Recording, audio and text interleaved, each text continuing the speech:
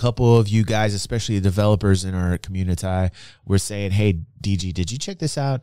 Some dev out there working with UE5 put together a nice little piece of work. Uh, I thought this was real at first. Like I literally thought the footage I'm seeing here is real, but this is all work done in UE5. Get ready for this."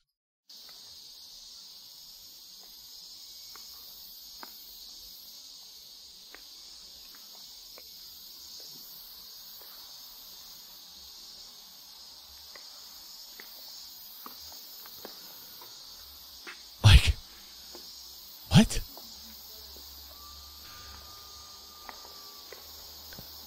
Right?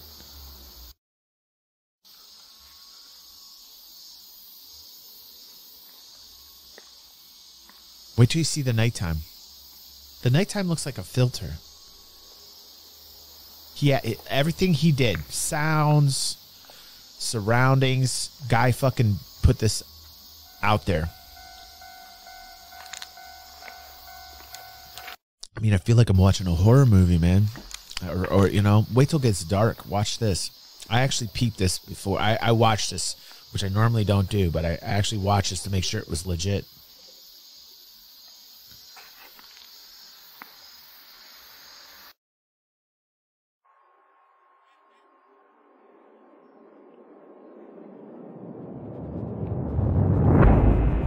Shit. A little bit of that nighttime creep mode. It won't be healthy. Whereas, like, it's not going to be healthy if games are actually this real. Nanite is ridiculous. Lumen is ridiculous. All the features that the, the plugins for U5 are phenomenally amazeballs. Like, really, this would make a wonderful horror game. Like, right now, something popping out at you right in your face. So Silent Hill. Right, Dylan. Dude, ridiculously just amazing what I'm seeing right now. Amazing. That is. That is Cry. Welcome. First time chat. Welcome to, uh, to the fam, dude. Glad to have you here. Isn't this crazy? Ridiculously crazy. Dude, I'm ready for the VR experience. I'm ready for this shit. I want my games to be this real. I, I'm hardcore like this. I, I definitely want this. It's, it's, crazy.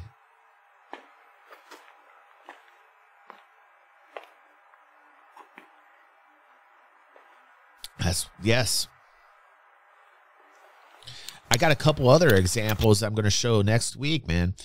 Like I'm I'm I'm going to talk about the the potential of VR moving forward and uh UE5 uh this engine is ridiculous what I'm seeing.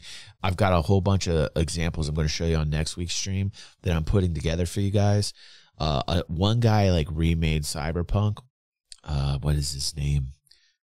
I'm going to show you this dev. He's phenomenal. And he, and he repieced and reimagined Cyberpunk. Oh my God. It was insane. And I've got a couple other things.